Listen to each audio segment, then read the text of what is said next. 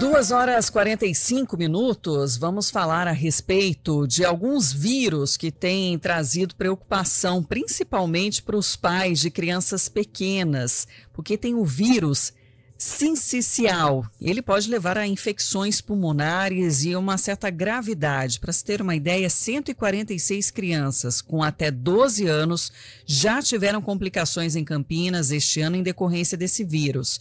E o número é em relação àquelas crianças que passaram pela rede de saúde e acabaram desenvolvendo a síndrome respiratória aguda grave.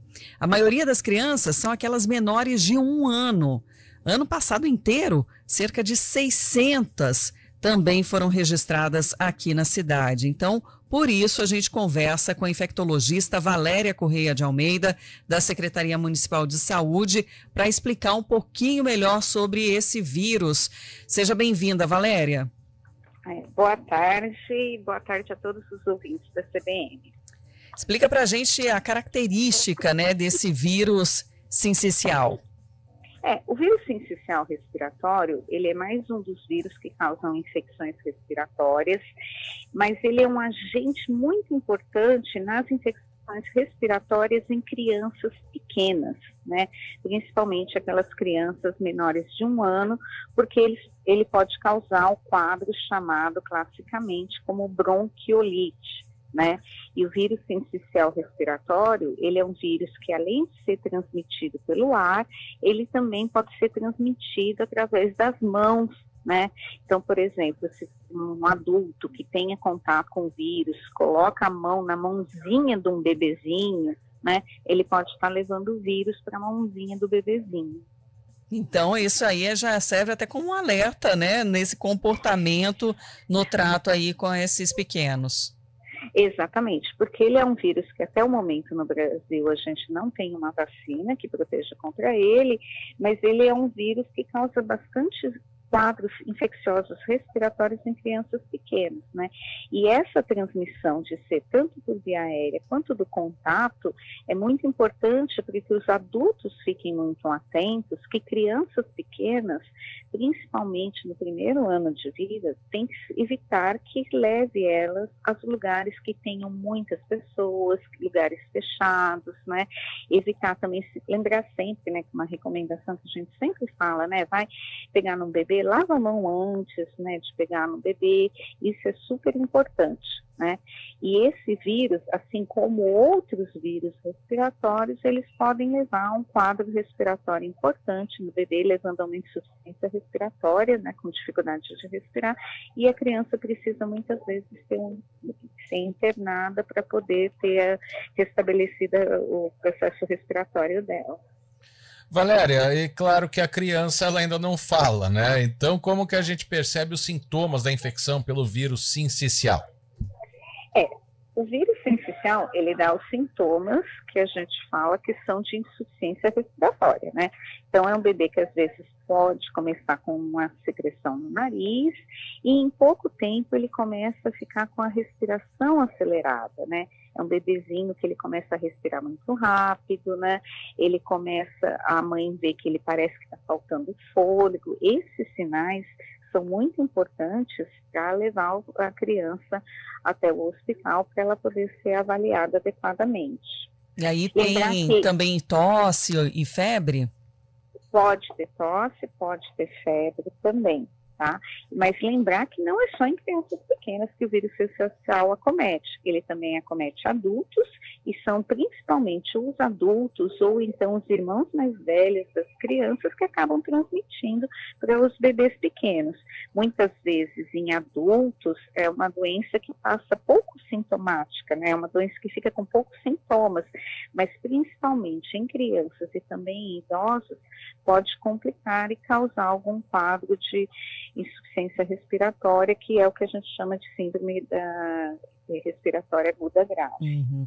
Você alertou aí para a questão da socialização, né, dos pequenos, que pode ser um fator de risco.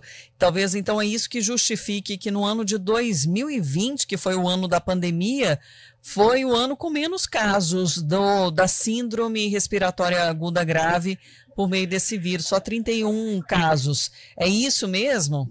É isso mesmo, perfeito não é que justifica, essa é realmente a causa. Como em 2020, como a gente estava tendo uma diminuição da circulação, as pessoas estavam ficando em casa por causa da pandemia de Covid, também diminuiu a exposição ao vírus sensicial respiratório e essas crianças não ficaram doentes. Então agora, por exemplo, as famílias, né, voltando à rotina e as viagens, né? Temos aí o feriadão prolongado, né? Oi, nos Consegue ouve, Valéria? nos ouvir, Valéria? Nós estamos te ouvindo. Um pouquinho. Não, é só dessa questão da socialização, né, da volta da rotina e até das viagens, né? Nós estamos aí em um período de feriadão prolongado, né? As pessoas aproveitam para sair para outros lugares. E isso também merece um, uma atenção, né? Acaba sendo até um fator de risco para a transmissão é, de vírus. Mas... É, mas a gente tem que. É, a circulação dos vírus respiratórios, não só do sensicial, mas de outros vírus respiratórios, ela começa agora no período de outono e ela se estende até o inverno. Então, a gente tem uma circulação acentuada de vírus que causam infecções respiratórias nesse período. Então, não é apenas nessa questão do feriado, mas, por exemplo, levar crianças pequenas ao shopping, né? Então, shopping não é um lugar que a gente deve levar bebês pequenos, por conta dessa aproximação com muita circulação de pessoas que podem acabar transmitindo esse vírus para a criança. Valéria, aí no caso da creche ou da escola? É, o caso da creche e da escola é a recomendação que a gente sempre diz: nunca as crianças doentes não devem frequentar creches ou escolas. Evitar. Para não transmitir outras pessoas, né? Uhum. Deve se evitar que elas frequentem creche em uma escola para não transmitir doença para as outras crianças. E para prevenir, só não deixar ter o contato com o vírus mesmo ou dá para fazer algum outro tipo de prevenção? Atualmente, no, a gente não tem disponível nenhuma vacina para essa faixa etária no Brasil.